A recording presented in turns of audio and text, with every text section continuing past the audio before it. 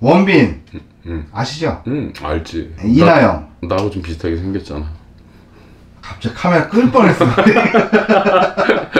원빈하고 이나영 야 왜 근데 왜 활동을 안 하는 거예요? 지금? 아니 활동이나 마나 왜 궁합은 어때요? 야왜 자꾸 나도 한한번 안 가본 그런 걸 자꾸 김국진부터 궁합만 보래 자꾸 아, 궁합 어때요? 선생님 봤을 때.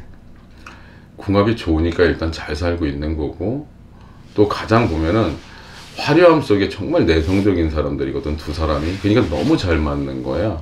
봐 가끔 커피 광고 하나 하고 뭐 이나영은 언젠가 슬쩍 보니까 뭐 네이저 네인지 아웃도어인지 옷 한 벌 나오고.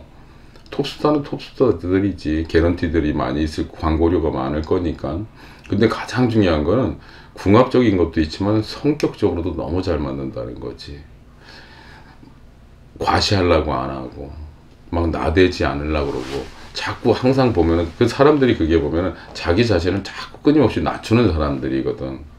그러면서도 내면적으로 남들 많이 좀 챙겨주고 그런 사람들. 일단 잘 살을 거야. 근데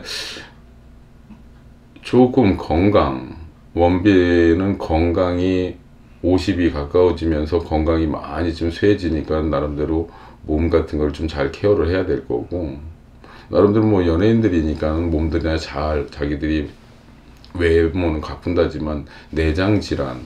아마 그 친구 아버님부터 이렇게 내장 계통의 이렇게 질환들은 아마 대를 이어서 계속 그 병이 올 거야 아마. 그러니까 그런 거 건강 검진 같은 거 철저하게 받고.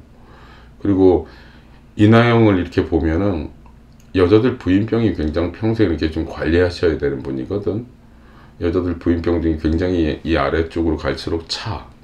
그러니까 아이 낳은 것도 어떻게 보면 참 뭐 사랑의 씨앗이겠지만 원래는 좀 많이 힘든 친구였는데 관리를 잘해야 되는 거죠 부인병 같은 거를.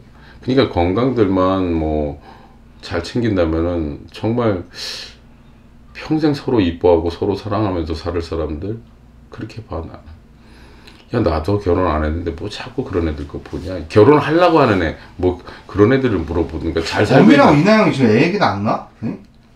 거기 거기가 그 사주대로라면 애, 애기가 당연히 있어야지 아 그래요? 어 애기 있어야 될걸